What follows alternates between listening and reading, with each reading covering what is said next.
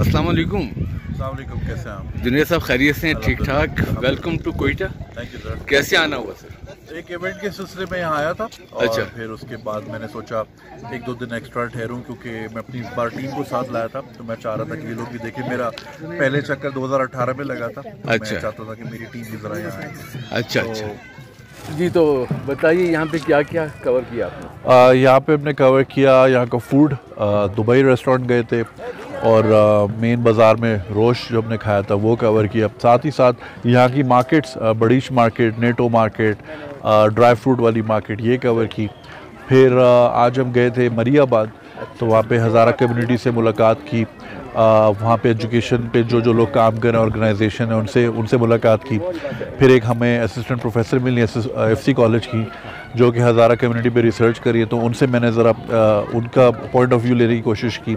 साथ ही साथ जो बच्चे पार्कोर करते हैं उनसे मैंने इंटरव्यू किया क्योंकि बड़ा पॉजिटिवली वो चैनलाइज करे। ज़ाहिर उन बच्चों ने बहुत वायलेंस देखा है बचपन से ही।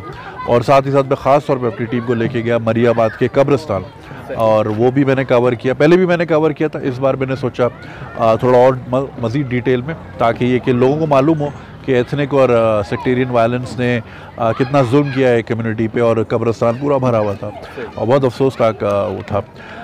तो फ़िलहाल इस वक्त हम यहाँ हना लेके आए हैं तो बस यहाँ पे हम एक क्लोजर करने आए थे। अच्छा वन लाइनर आप ये बताइए कि कोयटा आपको कैसा लगा? कोयटा बहुत खूबसूरत और बहुत अच्छे लोग बहुत मेहमान नवाज़ लोग जहाँ भी जा रहे हैं लोग अगर नहीं भी जानते हैं उन बस इतना द फैक्ट कि वो समझ जाते हैं कि आप दूसरे शहर से हो they open their hearts and मतलब वो बड़ा खुशी से मिलते हैं। हम जिस मार्केट में गए बहुत प्यार से लोग बातचीत करते हैं। मिलनसार हैं मोहब्बत करने वाले लोग हैं।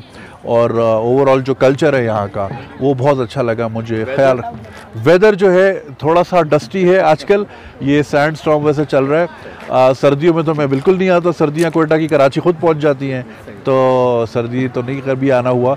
आ, मगर ये कि आज आजकल दो तीन दिन से थोड़ा सा डस्टी है। मगर ये खूबसूरती है। हर इलाके की अपनी अपनी खूबसूरती होती है। तो बड़ा अच्छा लगा यहाँ आके।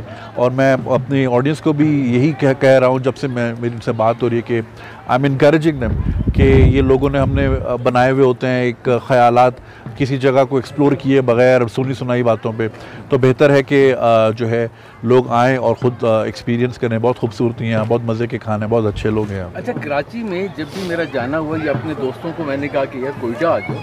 तो अरे, नहीं यार बड़ी मतलब दहशत गर्दी है वहाँ पे।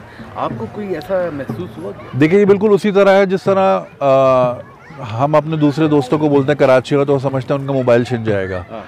रोज़ाना तीन करोड़ लोगों का तो मोबाइल नहीं छिनता वहाँ पे। बस वो हादसा तो कहीं भी हो सकता है। तो इसी तरह लोगों ने एक ज़ाहिर है कोयटा का भी एक इमेज जहन में लोगों के है। आ, चाहे वो दहशतगर्दी के हिसाब से हो या दूसरे वाक़ात के हिसाब से तो ज़ाहिर है वो एक परसेप्शन तो लोगों का बना हुआ है।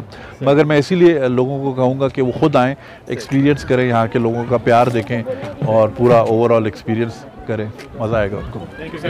थैंक यू वेरी मच बहुत शुक्रिया। बहुत शुक्रिया सर यू टू सर